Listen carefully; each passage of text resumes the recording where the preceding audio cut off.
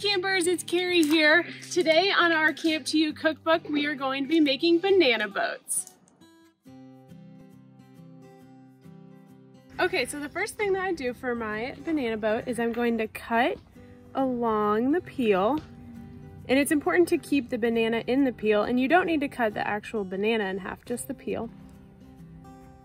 Then I like to put mine on tin foil just in case anything spills over, then I still have it all together.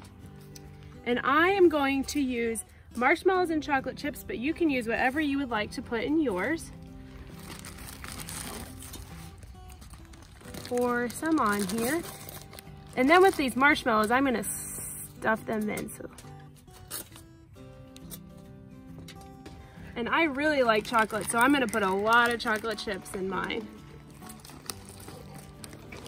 and you can just put them right on top. So now I am going to wrap this up before I put it on the fire. It's just like the s'more cones, but I really like this one because it is gluten-free. Okay, now that I'm at the fire, I'm going to place my banana on the coals. I don't want it all the way in the fire, but close enough for it to get warm, and I'm going to leave it there for one to two minutes.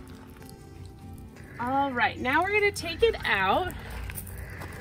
And we don't want to touch it too soon because we don't want to burn ourselves. All right.